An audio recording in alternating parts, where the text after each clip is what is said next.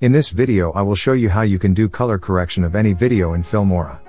Like this.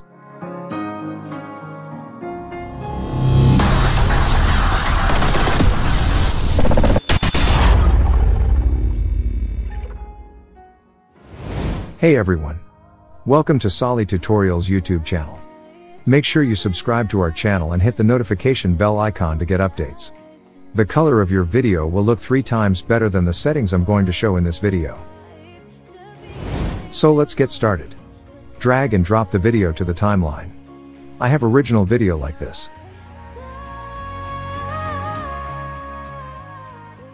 Now we do color correction of this video. Double click on the video. Go to the color tab at the top and click on it. Unfold the color enhancement tab. Click the auto button here. Then unfold the white balance tab at the bottom. Click the auto button here too. Unfold the tone tab. Inside we have to adjust the contrast, saturation and brightness according to the video. I have a contrast level of 6. I keep the saturation to 9. And I keep the brightness to 9.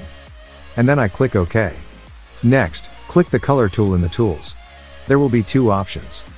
Here we have to click on the color correction option.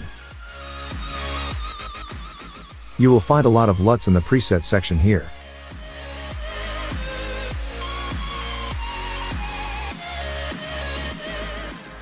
Here we have to apply a LUT to the video according to the video. Double click on LUT to apply. Here I double click on Brighten LUT. So you can see that we did color correction of the video very easily and in less time. Let me show you a preview. So this way you can make color correction of any video in Filmora. That's all for today. Thank you for watching. If you like this video then give this video a thumbs up, plus subscribe to this channel and also hit the bell icon.